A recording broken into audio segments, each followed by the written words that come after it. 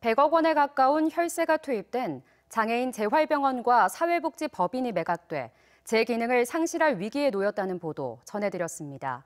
하지만 사회복지법인을 팔 때 편법으론 얼마든지 거래가 가능해 대책이 절실합니다. 최은호 기자입니다. 사회복지법인이 부지나 건물 등을 팔 때는 관할 시도지사의 허가가 필요합니다. 복지법인 운영에 막대한 혈세가 지원되기 때문인데 자치단체의 허락 없이 처분하면 법적으로는 법인 설립허가 취소까지 가능합니다. 하지만 문제는 법인이 재산이 아닌 운영권을 넘길 경우 그 어떤 제지도 할 수 없다는 겁니다. 성재원 대표이사가 제시한 계약서를 보면 실제 계약금을 주면 법인의 토지나 땅, 건물 등을 넘기는 게 아니라 대표이사직을 사임하고 운영에 관여하지 않겠다고 적혀 있습니다. 편법적 법인 매각의 대표적인 사례입니다.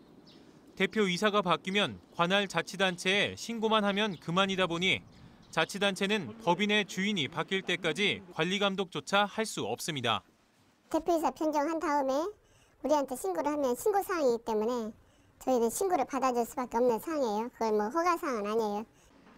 운영권을 넘기는 과정에서 뒷돈이 오간 사실이 확인된다 해도 법인 시설을 넘긴 게 아니라 운영권 양도라고 주장하는 이상 처벌도 쉽지 않습니다.